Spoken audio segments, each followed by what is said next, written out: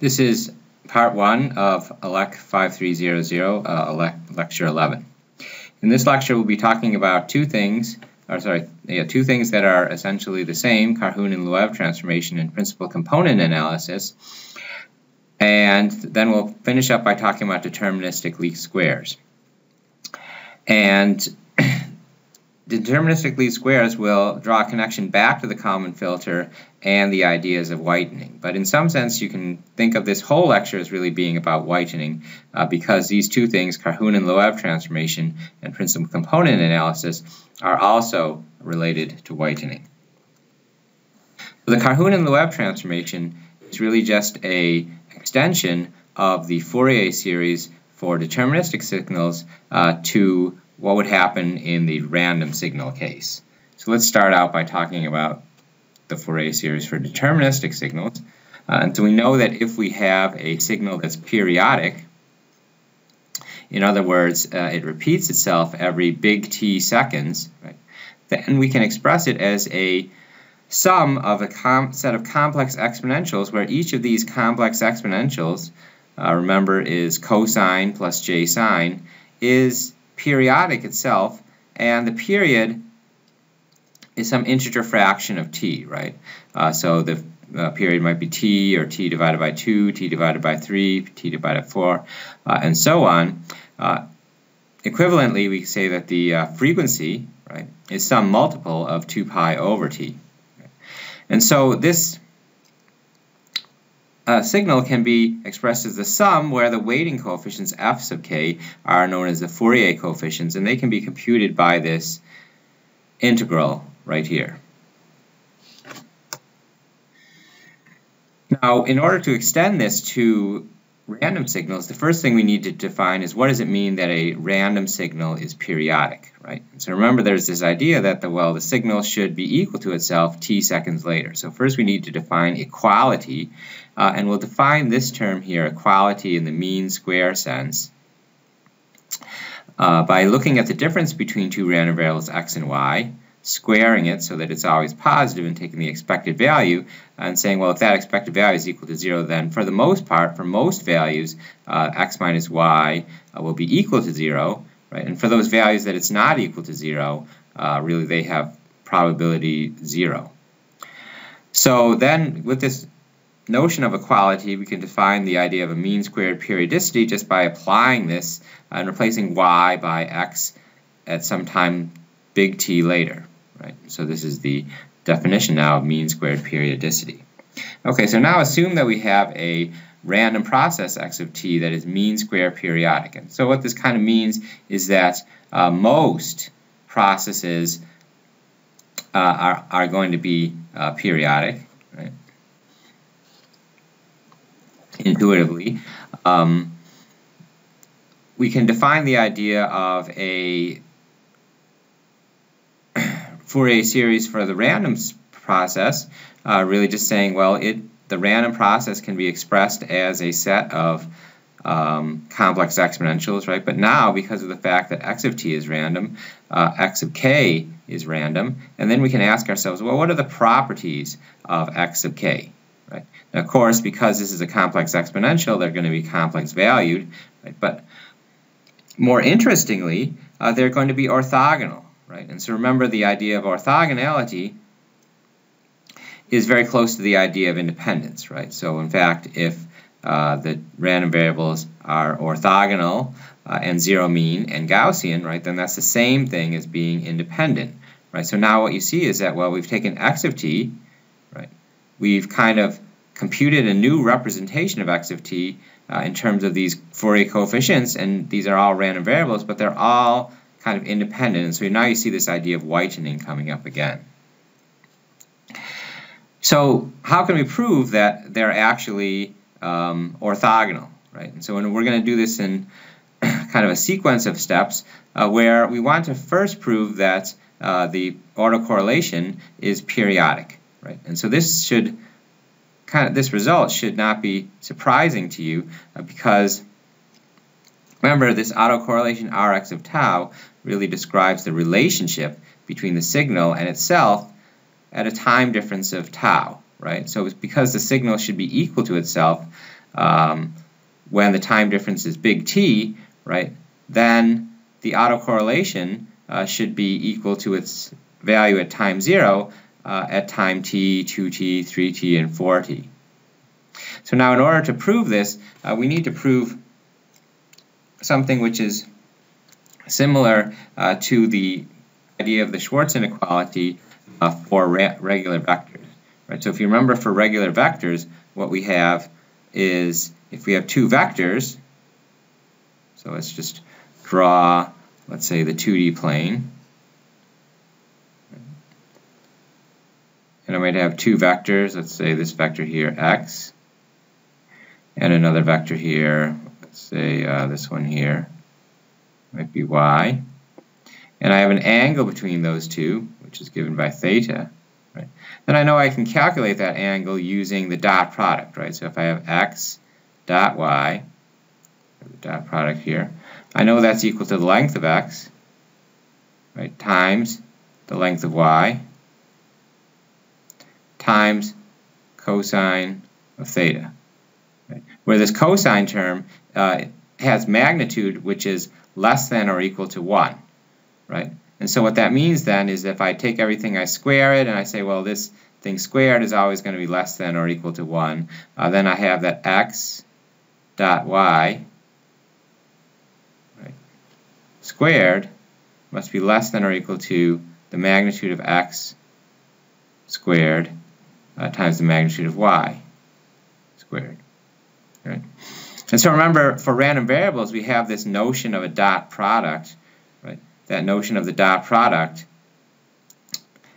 is uh, the same as is the expected value of the random variable x times uh, y, right? So this expected value of a times b is kind of like the dot product between a times b, and so now you can see, well, this is analogous to this. And so if I just follow through the logic, uh, you can see this is expected value A times itself, right, which is the squared magnitude, uh, and expected value B times itself, uh, which is the squared magnitude of B, right? And so because it's a dot product and it kind of satisfies the same properties as in regular Euclidean space, you can kind of expect this to be true, and so we can prove that uh, down there. Okay, so now armed with this idea, let's go back to the original lemma that we wanted to prove about the periodicity of the autocorrelation. So by the lemma that we just proved, right, I can just say, well, I'm going to define some random uh, variables, uh, a and b, that I'm interested in applying that lemma to, right? So b will be this thing here, x of t minus tau, right? a will be uh, the difference between uh, x at time t and the that its value um, big T seconds later. And remember, if this thing is kind of periodic, then these two things uh, should be equal to each other, so this kind of A thing should be uh, 0, right? And so now that we know that this A expected value of A times B is less than or equal to the expected value of A squared times the expected value of B squared, right? And in fact here, this is where we use the idea that these guys are 0. Now we've kind of like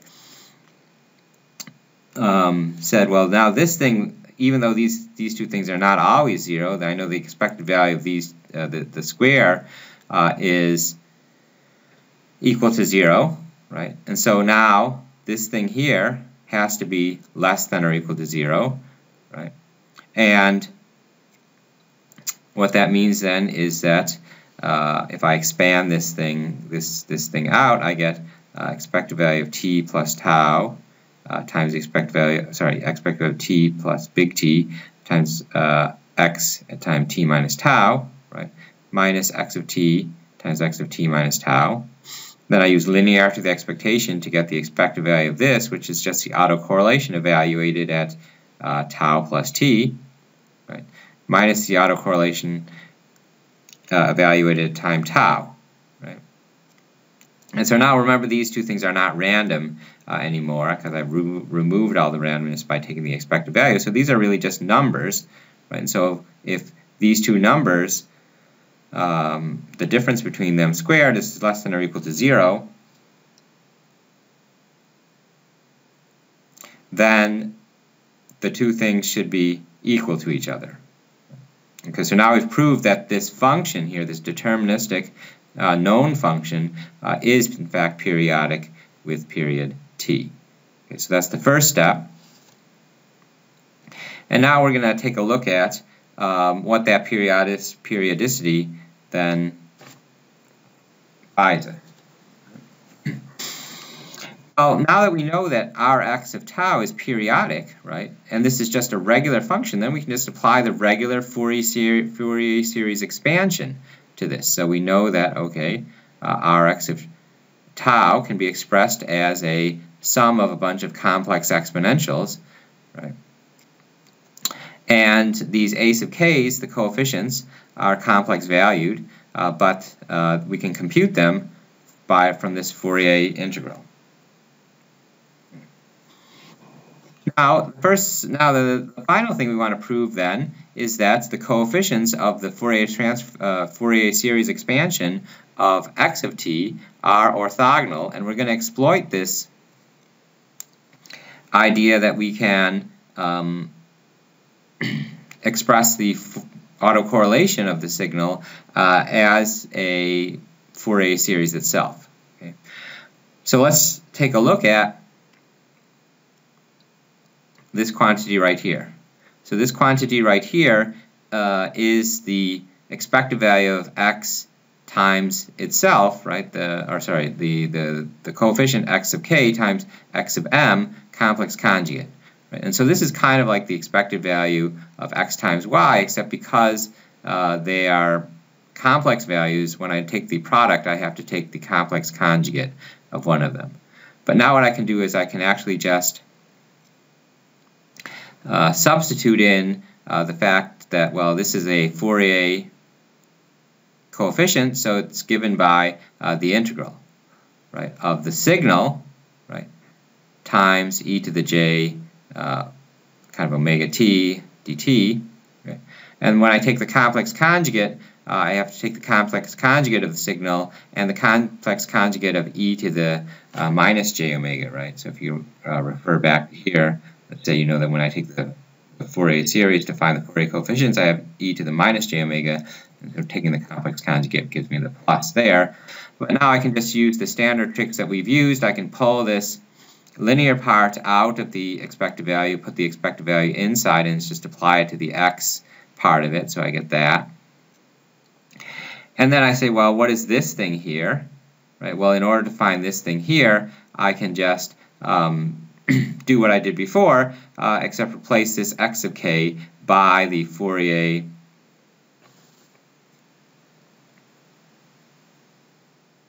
equation. And then again pull the the integral and the multiplications outside and I apply the expected value only to uh, the part that includes x right and now I have the original signal here uh, times its complex conjugate evaluated at u and t right but the expected value of that is just the com the sorry the autocorrelation right?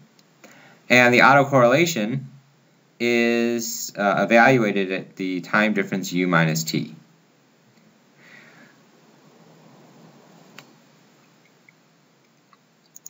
But now I know that uh, this is a periodic function, right? And so when I do this thing, I should get a Fourier coefficient, right, evaluated at the frequency you know, the discrete frequency index k, right? So I should get a sub k, right? except for the fact that if you go back here, uh, the a sub k needed this t here and this t here to be the same? But in fact here I have the u here, which is the, kind of the analog of u, and I have this thing inside here, which is u minus t, right? So these, this thing here and this thing are not the same, But um, this is just a shifted version of the autocorrelation. And so by the Fourier shift theorem, I should just get a sub k times e to the minus j omega times the shift, uh, which is t. Right? Okay, so this final step here is just Fourier shift theorem. Okay, so now what I can do is say, well, my previous result says that this is equal to uh, the Fourier coefficient shifted in phase. So this bottom equation here uh, is this one here. And then the top equation uh, was this one here, which is given by this one here. Now what I can do is I can just take this uh, and substitute it with this. So I put that in there. Now this is an integral over t, so I can actually take the a sub k outside. Right? And now what I have is the integral of a complex exponential uh, times another complex exponential.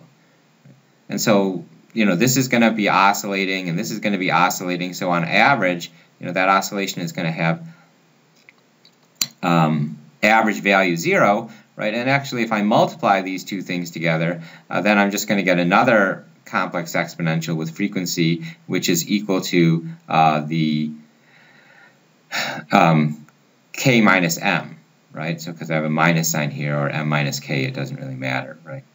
And so the frequency there will just be k minus m, and so that's going to generally oscillate and have average value 0 unless uh, k minus m is equal to 0, right? In that case, then the frequency is 0, right, which is just a constant, and so that will integrate uh, here the, the, the, limits of integration here from 0 to big T. So that will integrate to T, and then when I divide by uh, T, I get 1. Right? So this thing here will generally be equal to 0 unless k is equal to m, in which case the integral is to, uh, integrates to 1, and then when I multiply by a sub k, I just get a sub k times this. So this um,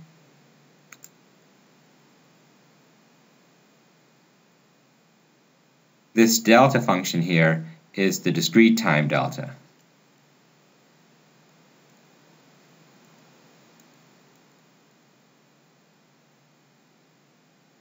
So it's equal to 1 if these guys are, uh, if k minus m is equal to 0 and 0 otherwise. Okay, so now uh, this is what shows you then that these things are orthogonal uh, if k and m are not equal to each other, right? Because then the expected value of their product uh, is equal to 0.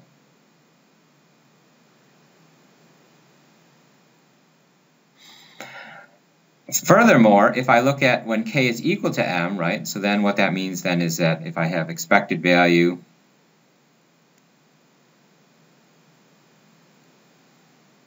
expected value of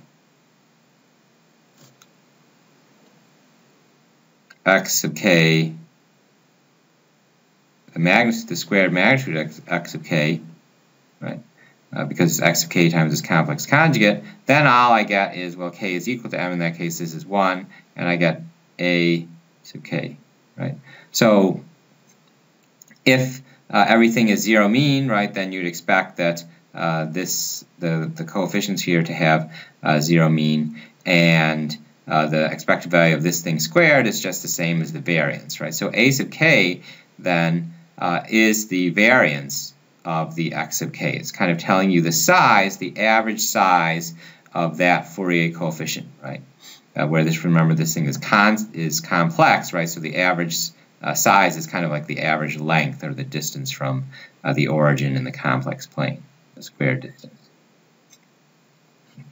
And so the final thing we have to prove then is that uh, the Fourier series, you know, that that equation, the Fourier series equation, is actually right? So here we took this thing and we said, well, I mean, if we just apply the um,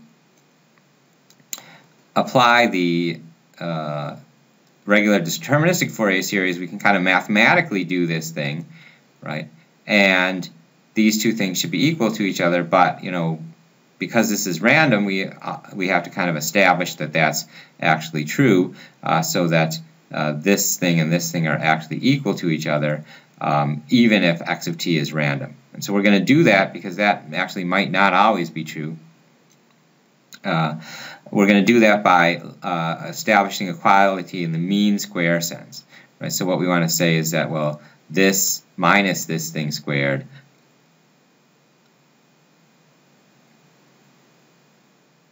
uh, this minus this thing squared uh, is equal to 0. So let's take a look at that.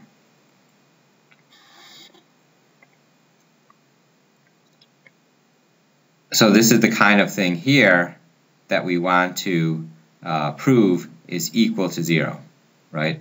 x of t minus the Fourier series expansion uh, quantity squared. And remember, uh, some of these terms here are complex, so we're going to kind of just, you know, this thing in general will be real, but we're just going to multiply by its uh, complex conjugate.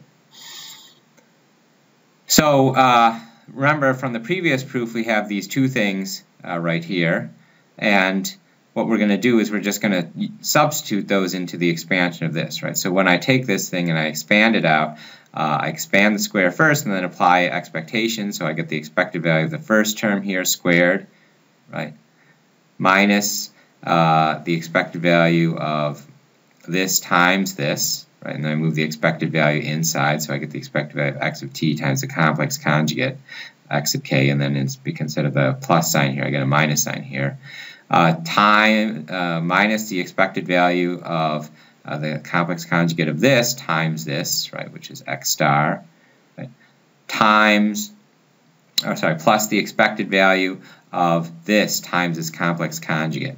Right? So when I get a sum times itself, I get a double sum over uh, k and m, two dummy variables, and when I take the complex conjugate, I get x of k, x of k complex conjugate, and then I get k and minus m over here.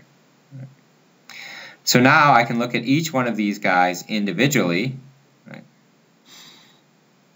This thing here right, is just the autocorrelation of x evaluated at the time shift 0. So this is the same as this.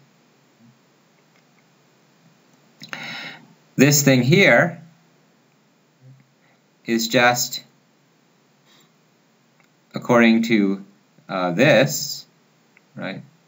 Or let's let's let's first look at this one here. Uh, this one here, right? If I look at this one here, uh, these two are the same, right? Because all I've done is switch the order, right? An x complex conjugate t, right? And an x of k. So this and this are the same. So if I take this and say, well, look at this thing here. This is the same as a sub k times e to the minus j 2 pi k divided by t. Then I get this uh, canceling with this, right? You can see there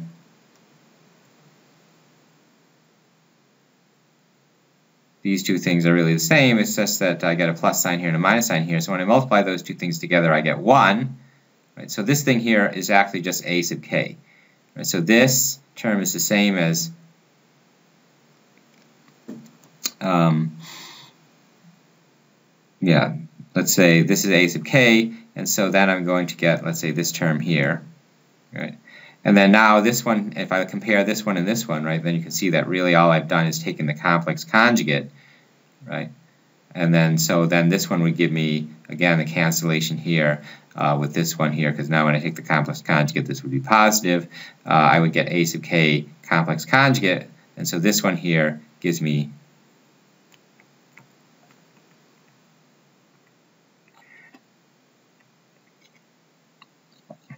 uh, this one here, let's see here, sorry. This one here gives me this one, right? And then I get the double sum here of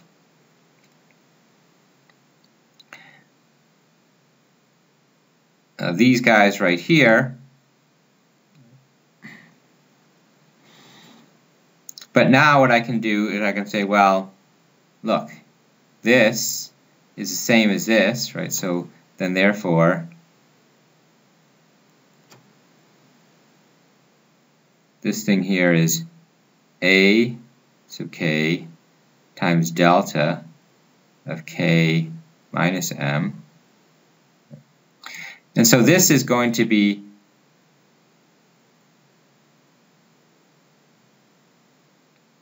this term here is going to be 0 everywhere, right, except for when k is equal to m. Right? So if I do the summation over m, right, this is going to be 0. It's going to knock out most of the terms except for those where k uh, is equal to m.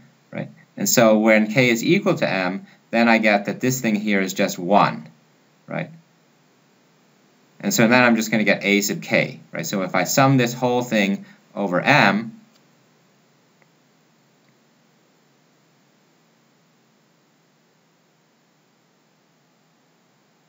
And this whole thing here is just a sub k. And then I just get a final sum from k is equal to minus infinity to infinity of a sub k. So I get this.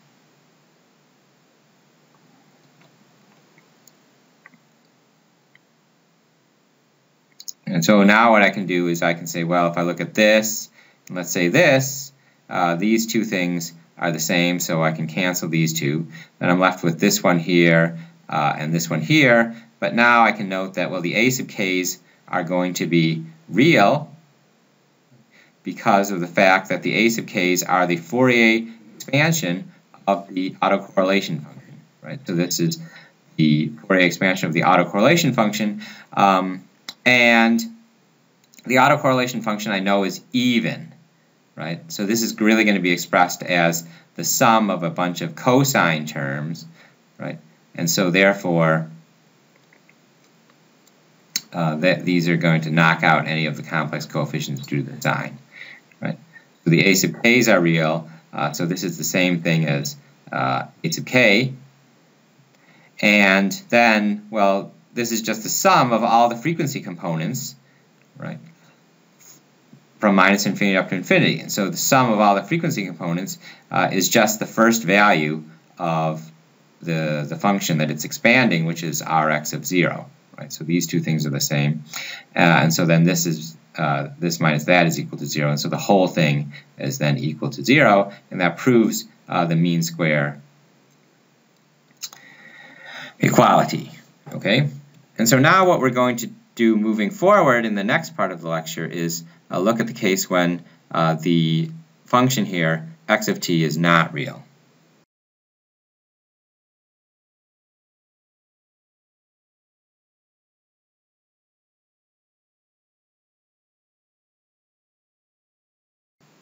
I'm sorry, is not periodic.